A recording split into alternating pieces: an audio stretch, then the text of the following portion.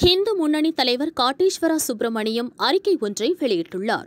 கோவில்கள் ஹிந்துக்களின் வழிபாட்டு தலமாக மட்டும் இல்லாமல் வாழ்க்கையின் கலாச்சார பண்பாட்டு மையமாக திகழ்கின்றன. கோவில் சிலைகள் கலாச்சாரம் மற்றும் கலை நுட்பத்தை பறைசாற்றுகின்றன. தமிழகத்தில் சிலைகள் திருடப்படுவது வாடிக்கையாக உள்ளது. இத்திருட்டை தடுக்க தமிழக அரசு சிலை கடத்தல் தடுப்பு ஆணையம் அமைக்க வேண்டும் என கூறியுள்ளார்.